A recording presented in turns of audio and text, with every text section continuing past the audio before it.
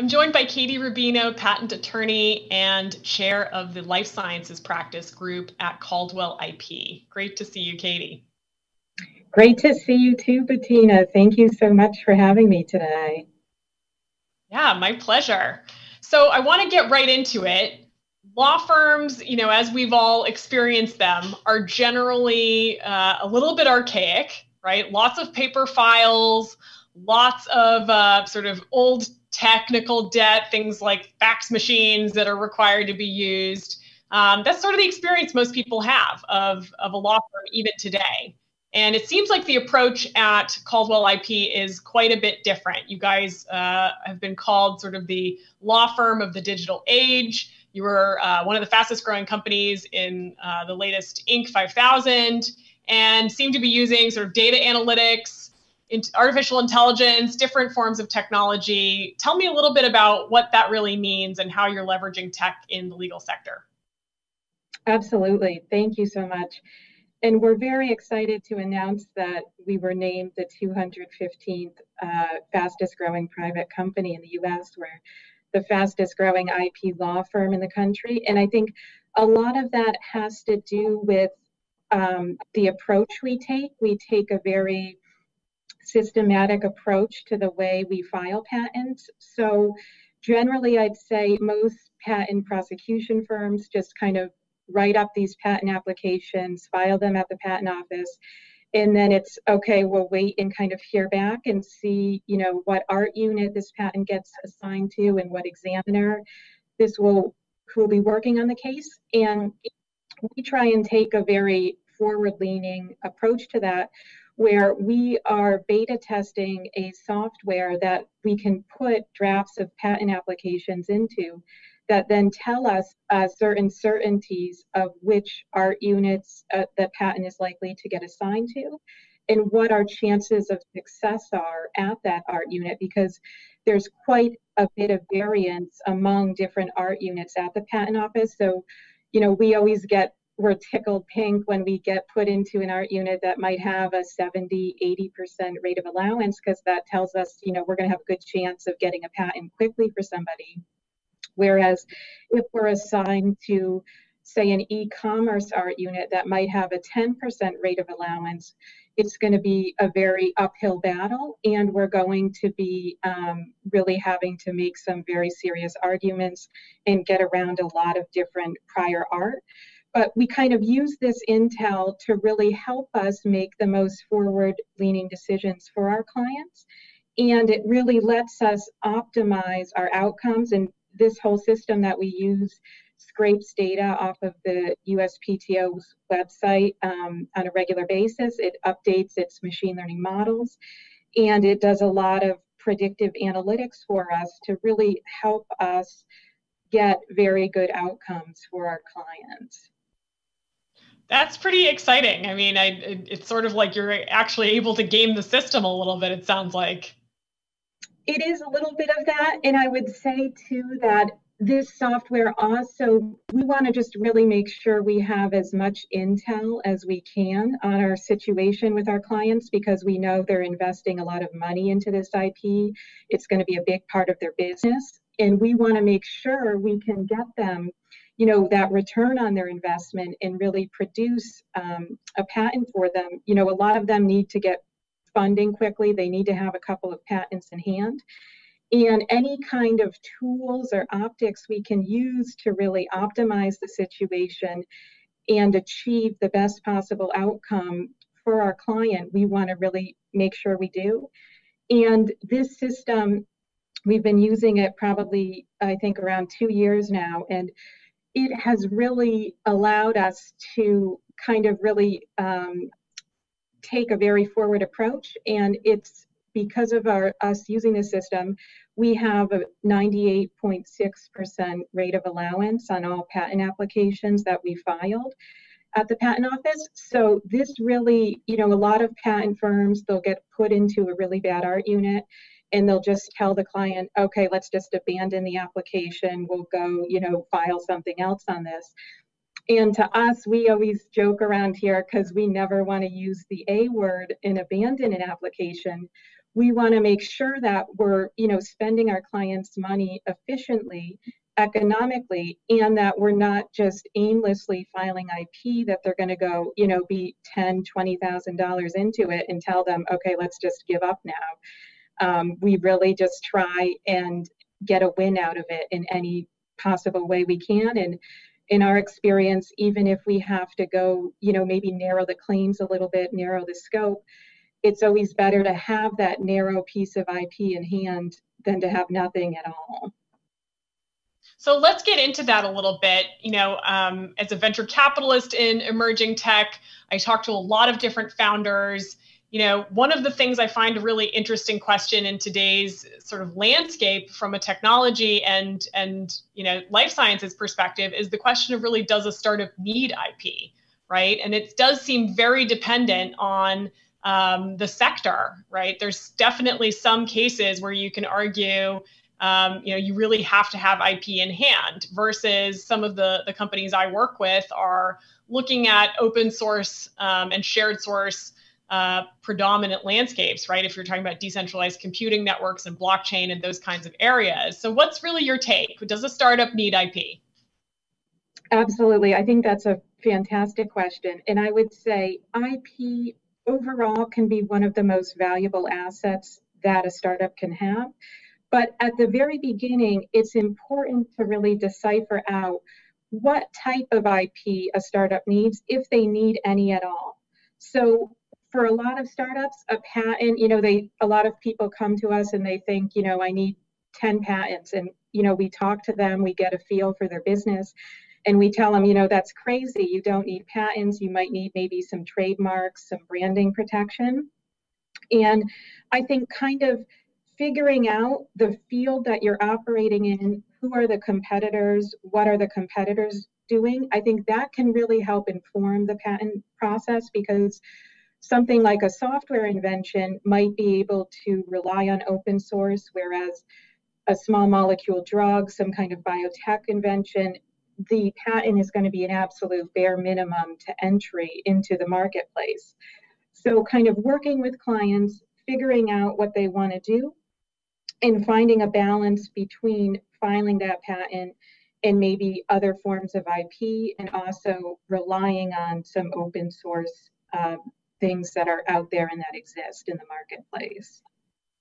So, and you know, we often think of patents and sort of IP as a defensive tactic, but you know, how are you seeing IP actually be used to sort of change, uh, you know, the competitiveness or the the financial performance for different kinds of, of startups? Absolutely. So I'd say broadly speaking, patents can really, and IP really in general, can be used to enhance the company's success in kind of three big picture ways. First, patents can establish a proprietary marketplace advantage. So, what I mean by that is that sometimes getting this these patents in hand can kind of help a company build a fence around what they're doing so that other people can't just come into their space, copy what they're doing, and build a whole company around that. So it kind of serves as a defensive mechanism to block out from others really coming into that area. And then number two, patents really help improve financial performance. So what on earth do I mean by that? because people think, you know, I'm going to spend all this money on IP. How am I ever going to recoup the costs? And I think really from the beginning, creating a patent strategy and IP strategy that aligns with a business's business objectives so that patents are filed strategically based on what are the long-term goals of the company. Are there maybe some potential competitors that would be interested in licensing the technology? If so, that's going to cause us to draft the patent a certain way, make it kind of seem attractive to competitors, use specific language competitors will appreciate and acknowledge, versus maybe building out a patent portfolio for ultimately selling it to a larger competitor um, or just really also using IP to add value and create new licensing streams, revenue streams by going into new um, silos of business, kind of expanding out on what a company is working on. And I think it's also important to remember too that, um, you know, part of the overall IP strategy needs to really be to create long-standing kind of relationships of trust with appropriate intellectual property counsel so that the all of the IP needs of the company and the questions regarding IP strategy and what a company needs to do can really be left in the hands of the patent attorneys so that the founder or CEO can focus on their business and really excel at what they're they do best so that they can go think about what are the next stages of growth for my company or who should I hire next. I mean, it blows my mind when CEOs come to us and they're telling us that they're so stressed out about this office action they have on a patent or they, they're not sure when their maintenance fees are due. And I try and just tell them, you know, leave it to me to get the gray hair and worry about those things. You can go out and do what you do best and really excel at growing your business. I mean, it does seem like a lot of this comes down to, from the sort of strategy perspective, timing, right? Because on the one hand, you know, I see a lot of founders who who fully believe they need to have a prototype in hand or something, you know, something ready before they're they're going for any kind of IP. And on the other hand, you don't really want to be too early because, in part, you know, you could be disclosing elements of your business that you may not want, you know, have have light on at that point in time from a competitiveness advantage. So, what, how do you think about timing for um, actually acquiring IP? Absolutely. I think that's a great question because so many times people, clients come into my office and they've built out this very complicated prototype and they've spoken to all their friends and family about it. They've disclosed it to these manufacturers and they have nothing protecting it. And I think probably the best piece of advice I can give here is to file early and file quickly. And what I mean by filing early is that right now in the US, we're in a first to file patent system. So if you go and disclose your invention to somebody else without having a patent filed, there's nothing that could stop them from going and stealing your idea and filing a patent on it themselves. So inventors really need to take a proactive approach and get some kind of even just a bare minimum filing on record at the USPTO. Now, in some instances, people are very concerned because they might not know exactly how their invention is going to work. They might not know how it's going to be implemented exactly in practice. And in that situation, we can always file a provisional patent application, which is a rough draft patent application just goes on record. It's not examined by any examiners. And what that can do is get you that priority date, and we can draft that very broadly to encompass a lot of different ways in which the invention can be done, create a lot of optionality for down the road. And then the inventor gets a one year period to go about their business, working on the innovation, creating kind of the best mode of it, and engineering out all the quirks associated with it. Now, my second point here is to file something quickly. And what do I mean by that? Well, the Patent Office has a relatively new uh, filing program called a Track One or Accelerated Patent Program. And what that does is if you file a Uh, patent under that program, you get a final disposition on patentability within 12 months of filing, which is extremely fast.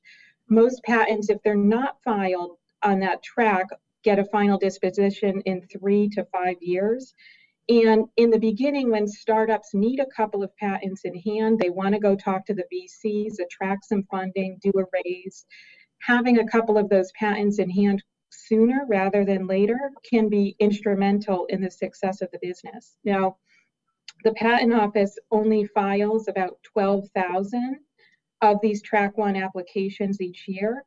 So in our, I think our firm, we file about four to five percent of all the track ones in the country because it, to us it's such a valuable tool And it can really make a difference in the success of a company to get those patents in hand quickly and go out there and be able to do what they want to do with those patents. So, you know, we've we've seen upwards of 47 different kinds of recessions in the US over the course of history, you know, triggered by different kinds of, of events, whether it's uh, an economic bubble or financial crisis or um, terrorism. We're obviously, you know, right now we're, we're in the midst of a pandemic. Um, how do you see patent trends changing amidst sort of major economic shifts, right? Do you do we know anything about what happens to a company's patent strategy for economic downturn? Yes, I'd say generally speaking, economic downturns result in generating a really profound amount of entrepreneurial activity and really flurries of innovation, which most people probably we wouldn't think that. We think, you know, R&D spending is going to really be cut.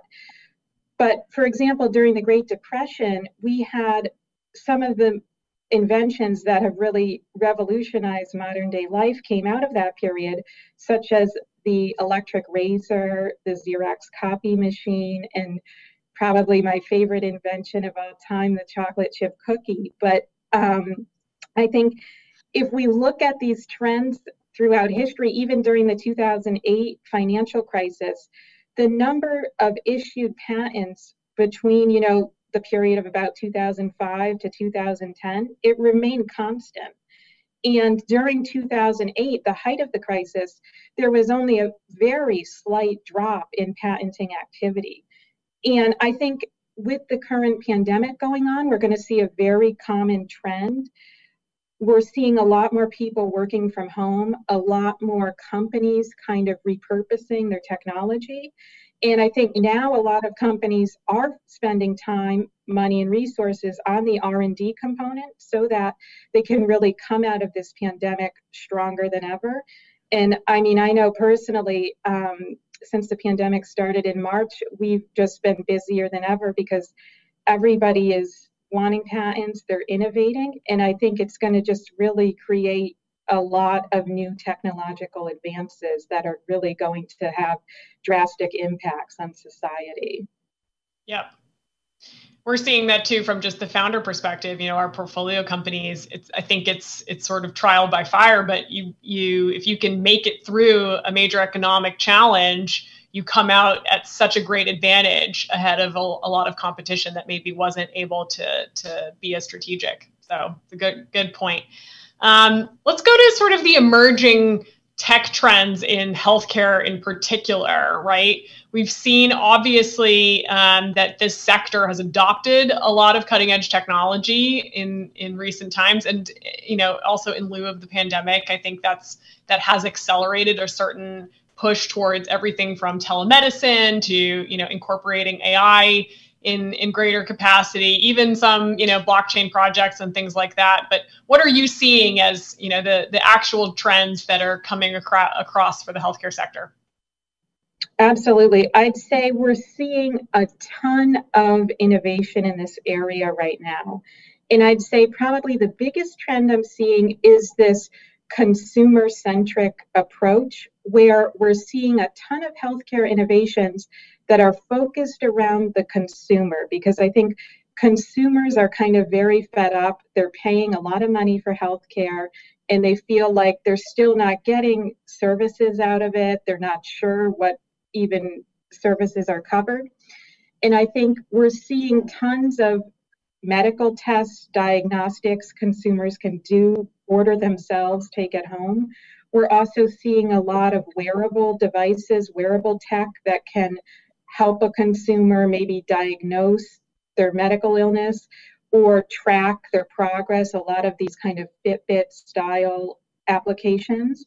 And I think, too, we're also seeing a real revolution in the transparency needed in the healthcare sector, where we want to see, I think we're going to, in the next probably 10 years, we're going to see really broad scale acceptance of things like blockchain in the healthcare sector. Um, I think there's a lot of applications it can be used for, not just in cryptocurrency space, but also in security of medical records, also taking out some of these third parties that might not be necessary, like insurers, and really creating more transparent trust between consumers, healthcare providers, and really just the overall healthcare experience consumers have every day.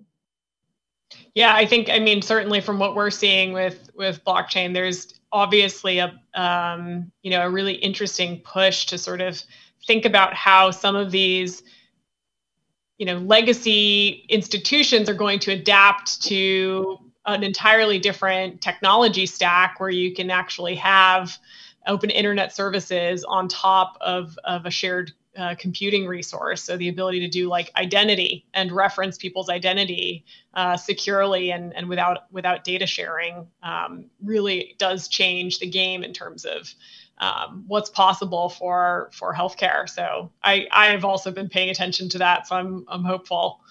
Uh, what about sort of more broadly in terms of just you know IP trends? Like what are we seeing? You know that that's coming about for patents uh, more globally, right? Is are we seeing you know smart contracts and and that kind of technology already implemented, or you know what about sort of cannabis or biochips, or sort of what's what's sort of the hottest in terms of the areas we're going to see, um, and maybe which jurisdictions are are actually tackling some of the more cutting edge aspects. Sure. I think with smart contracts, we're really seeing an explosion of patent filings there. And I'd say the biggest gains we're seeing are a lot of filings coming out of Asia, specifically Japan, South Korea. And I think a lot of that has to do with their acceptance of American cryptocurrency right now. So they've adopted it, they've implemented it in their society. And now they're filing a lot of patents in their own country and also filing patents on that those ideas and applications here in the United States as well. And I'd say we're also seeing applications of smart contracts outside just the fintech world. We're seeing it being used with IoT, digital media, renewable energy sources. Um, and I think really this growth of the patent filings in this space really indicates that there's going to be a strong economic interest in the adoption of this technology. Now, the same can kind of be said for cannabis. So early on, I'd say maybe in the past, the five years ago, the cannabis patent landscape was very heavily dominated by commercial enterprises. We had a lot of these kind of pharma companies trying to get ahead of the wagon, filing patents on drugs like Epidiolex, the CBD oil that controls seizures. And now we're seeing a real uptick in these startups kind of entering this space. Hmm. And I think here it's really fascinating because I was reading an article a couple weeks back that the cannabis industry itself is going to grow from a $9.2 billion industry in 2017 to 47.3 billion by 2027. So that's a huge explosion. And I think a lot of this has to do also with the trending of the kind of more acceptance on the state level of the use of cannabis. More states are allowing it to be, you know, available for recreational purposes, medicinal purposes. And also the passage of the Farm Bill in late 2018 also helped kind of legalize the use of CBD in states. So I think that in conjunction with this explosion of patent really indicates um, that a lot of companies are entering this space and it's a very upswing center of uh, innovation. Now, all right. Let's let's move to our last segment. Then we're going to do one overrated, underrated, sure. and with uh, trademark. Okay, I would say those are very underrated because people, a lot of times, people don't really appreciate the value trademarks can have in an IP portfolio. People always want to go after the patents, but trademarks can really add a lot of value to the naming and branding of a company. Awesome. Well, thank you so much, Katie. It was great chatting with you, and hopefully we'll we'll talk again soon. Absolutely. Have a great day.